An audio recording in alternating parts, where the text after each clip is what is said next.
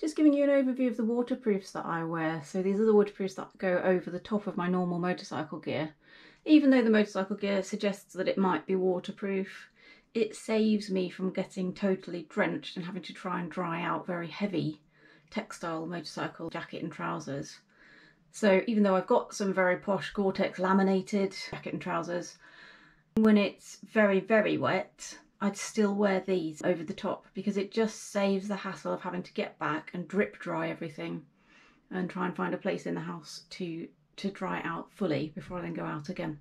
These are not expensive waterproofs. They don't have to be expensive. I've chosen these ones because they come from a country clothing store and they're a bit more robust than your standard um, thin waterproofs that you would get from a motorcycle store or cheap waterproofs for outdoor wear. I've chosen this because it's quite stretchy. So this material has actually got a bit of stretch in it, which is quite useful. So if I give it a bit of a tug, it'll stretch quite nicely. And it's thick and it's very waterproof. The water just beads off on the outside. So it's a country clothing store, therefore it's green, which means it's not particularly visible for any other traffic around. So I have purchased some reflective strips which I've stuck on and these happen to be purple not because I wanted purple but just because it was what was available at the time that I was purchasing them.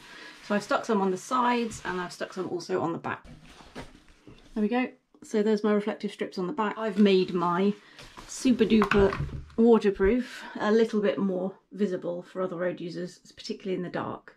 Although when it is dark I tend to wear a reflective high vis over the top anyway so I multiple layer up when it's wet and cold outside and end up looking like the Michelin man, but I don't care. The trousers are very similar, exactly the same material.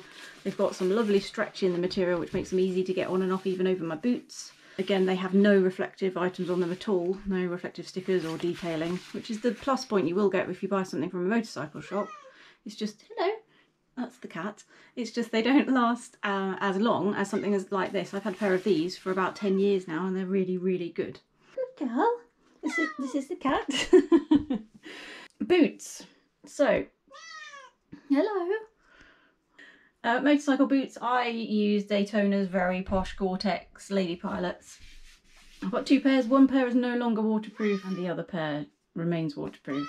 It is worth investing in some very good waterproof motorcycle boots. It's very difficult to keep your feet warm and dry. So I would recommend, if you can afford it, investing in a good pair.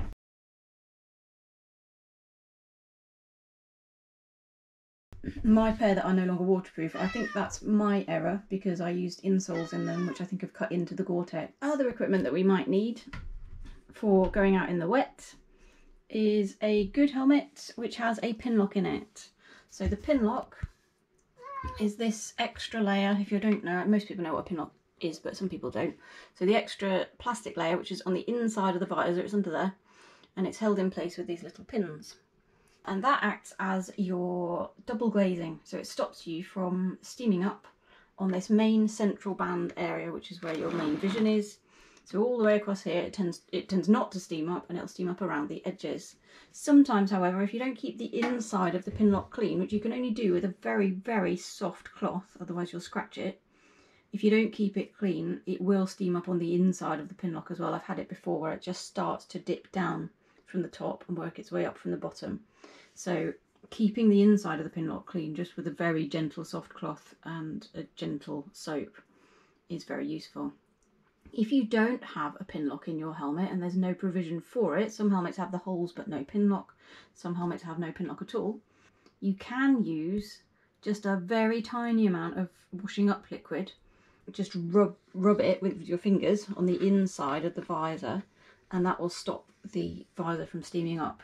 Doesn't work for very long, only a couple of rides for example, and you need to clean it off and then do it again but it is a, a halfway house to getting a pin lock or you can buy adhesive pin locks now.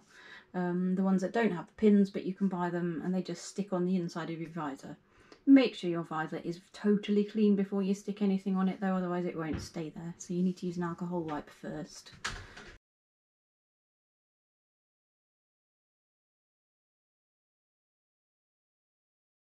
That's bye bye from me. And bye bye from Melody